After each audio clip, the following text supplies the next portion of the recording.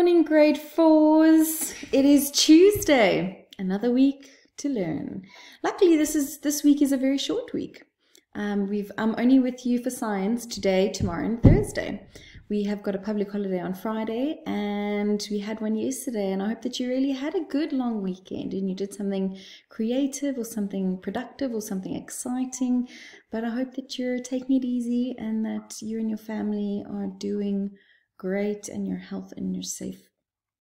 Um, this, this lesson that we are going to be doing today is an exciting one because we're starting a brand new topic. But before we get into our topic, I'm going to share my joke of the day with you. Okay, let's go. So, why did the student eat his homework? Because the teacher said it was a piece of cake. I must say, as a teacher, I have said that to my students quite uh, often. Um, but luckily, nobody's eating homework, or not that I know of. I've heard of a dog eating homework, believe it or not, that has actually happened.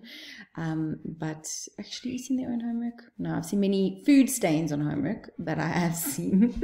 Anyways, remember, grade fours, that if you've got any questions, um, please email them to grade4 at worksheetcloud.com.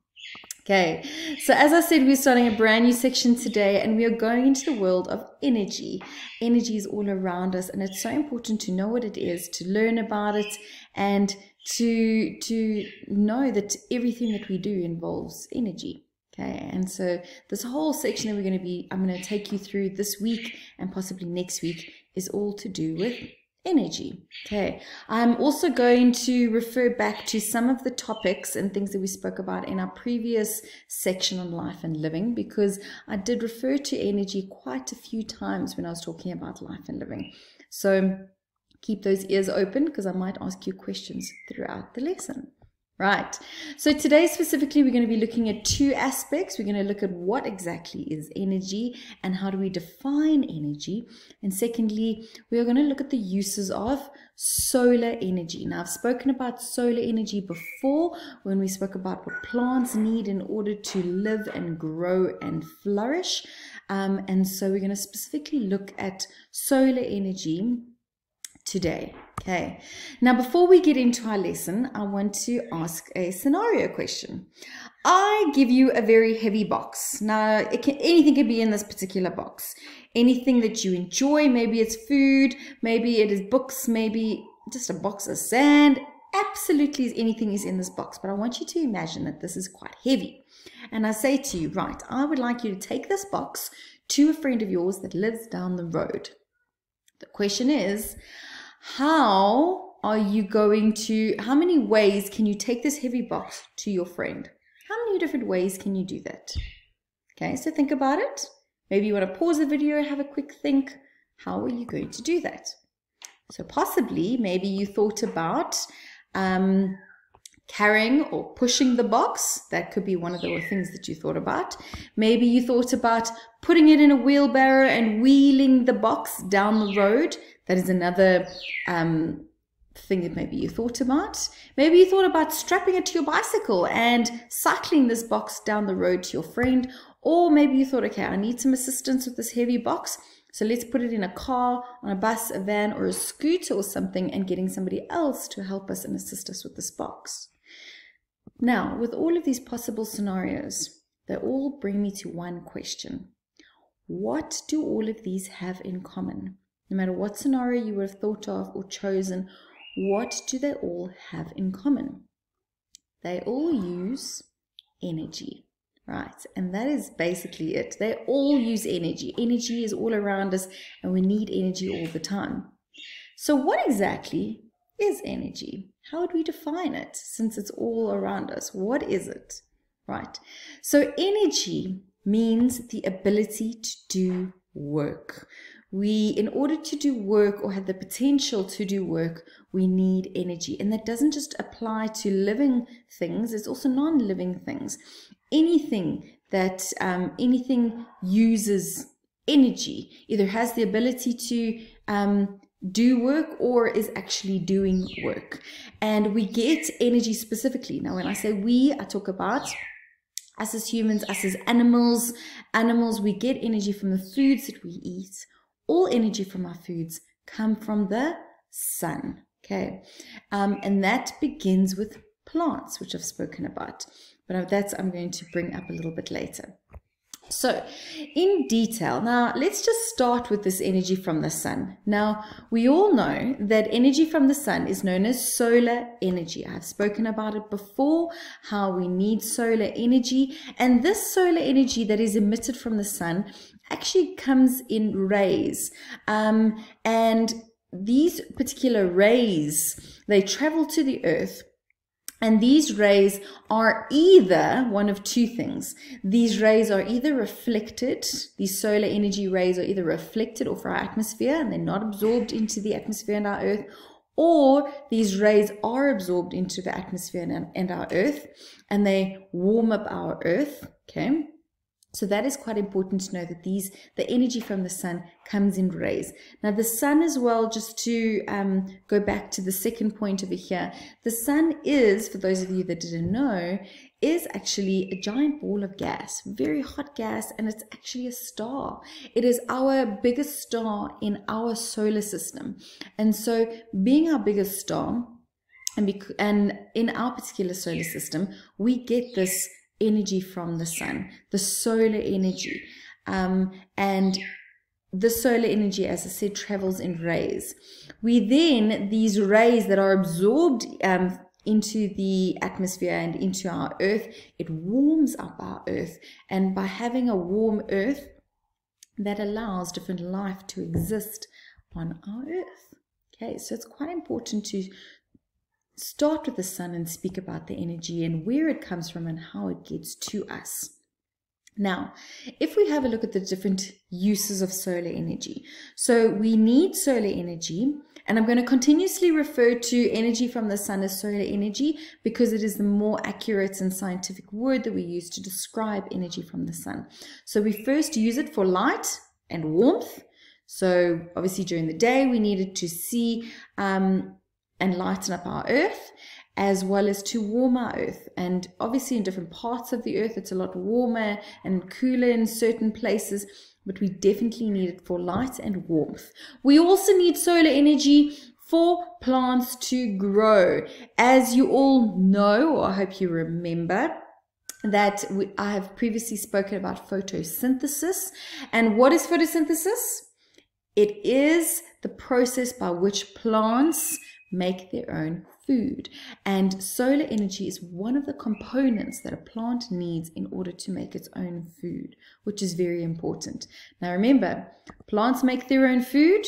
We then need plants in order for us to grow um, when we either eat plants or we eat other animals. Okay, but all of that comes from the plant and from the plant that comes from the solar energy from the sun, which is so important. Right. Now, now it, we come to a part of the lesson where I'm going to explain and go into a little bit more detail of the solar energy and the plants and talk about how it fits in in a food chain.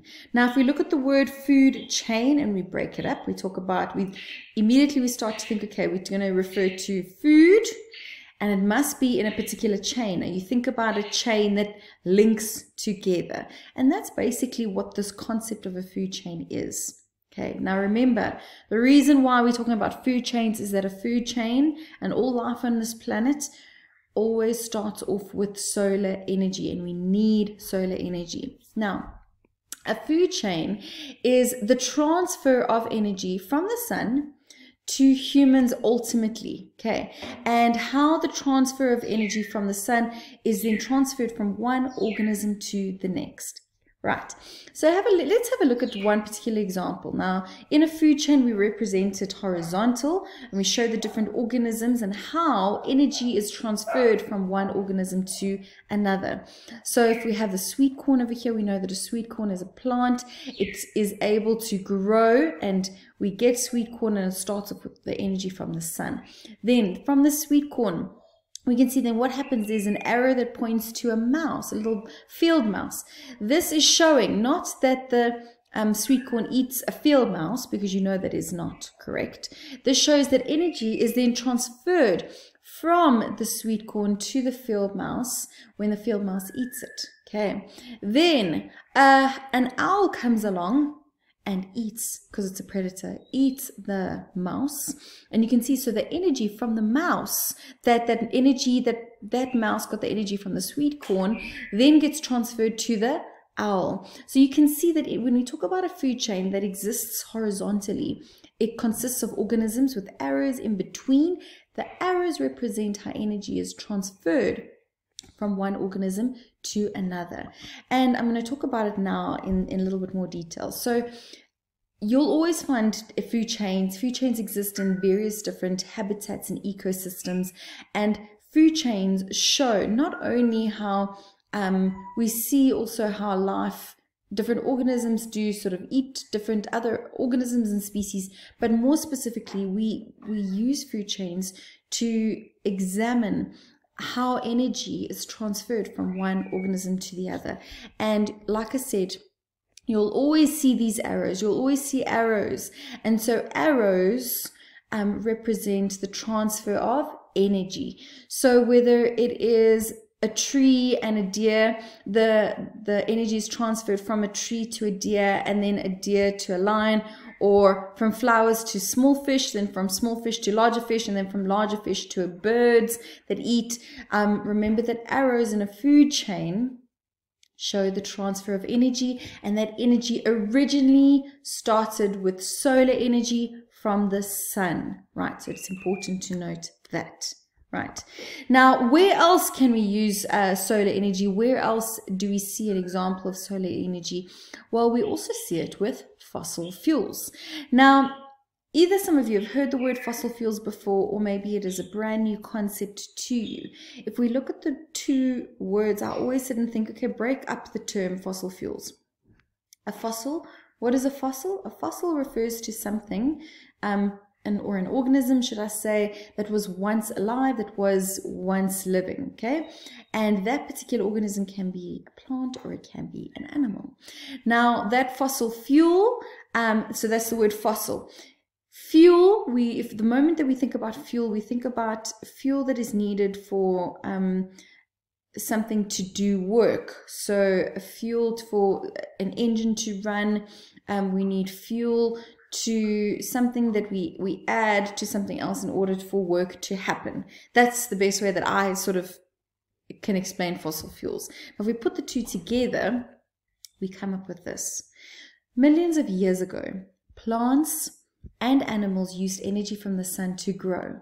Once these organisms died, they got buried by the earth, and over time, with added pressure and heat, fossil fuels were made. Right? So, just to explain that again. So, years and years and years ago, millions of years ago, plants and animals that used to live on this planet, so prehistoric times, when they died, their bodies obviously fell to the ground and then they got buried by rocks and dirt over time.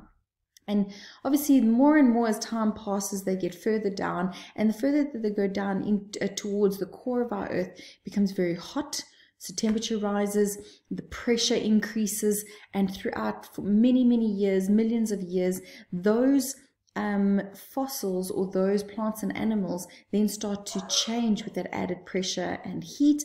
They change into three different forms. They can they change into coal, they change to oil, or they change to natural gas. And those are the three things that we actually use today. We use coal today um, in our power stations, we burn coal to get electricity. We use oils um, to fuel our cars and trucks and transport vehicles and natural gases as well that are also used in many different forms. So these are the three fossil fuels that we refer to, coal, oil and natural gas. And remember that fossil fuels all started with solar energy from the sun right? And so I want you to, um, just to sort of recap, I want you to remember how important solar energy is for our planet and how it has played such an important role for either what how we're using solar energy today or throughout time what what role solar, solar energy has played in our planet um, remember that just to go through the main points of today's lesson. We spoke about energy. We defined energy as the ability to do work. Okay. We also spoke about the, the uses of solar energy, where solar energy comes from, how it's absorbed. It comes down as rays absorbed through the atmosphere and into our earth to warm up our planet and warm up our earth. We then spoke about how solar energy is so important for all living organisms, which we know, especially for plants. We then looked at food chains and why a food chain is so important because it shows the transfer of energy from one organism to another. And then lastly, we looked at fossil fuels and how dead or how plants and animals once used that solar energy, the solar energy was still in that organism. It died, got buried, added pressure and heat, and transformed into our three, three fossil fuels coal, oil, and gas that we use today. Right, so that brings us to the end of our lesson. Remember that you can watch this video as often as what you can. Um, or as often as what you want. I really hope that you do the attached activity with this lesson, um, all on energy. And more importantly, I just hope that you have such an awesome day. Um, remember to please just email all your questions through if you've got any questions. But I hope that you're staying warm. As you can see here, I'm in Gauteng. And Gauteng is a little bit chilly. I can definitely feel that autumn is, is hitting us and we might have a chilly winter up um, well, heading our way. So I hope that you're staying warm and that you're healthy and that you're safe, safe and that you're smiling wherever you are. But um, here's from me, Miss Kun. Remember, Hakuna Matata. Be kind to one another. Bye.